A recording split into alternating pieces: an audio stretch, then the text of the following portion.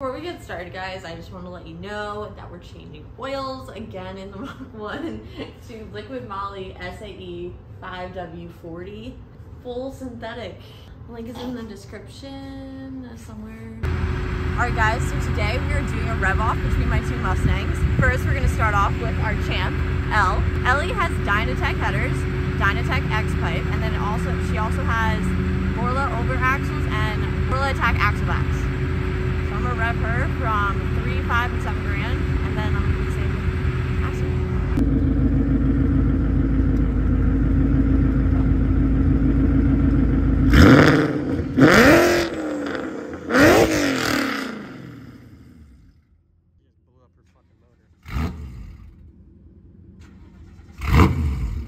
I didn't even get up to five grand.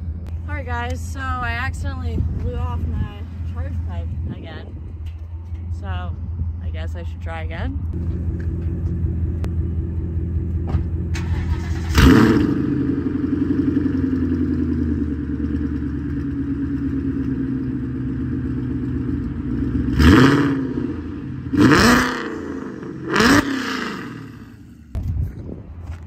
Well, it's always an adventure with this beast.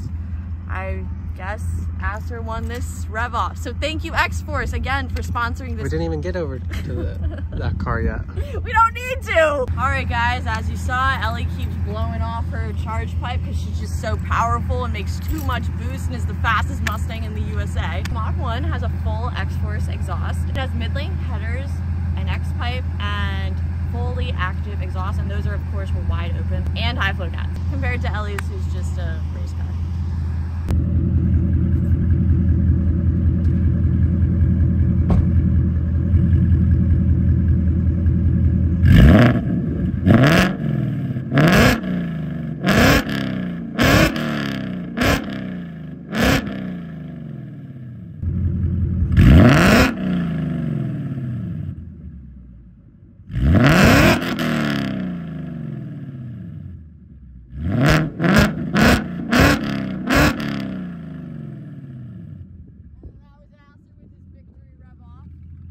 Again, X-Force, for sponsoring us and giving us this amazing exhaust for my 2023 Mach 1. I absolutely love it and have no complaints.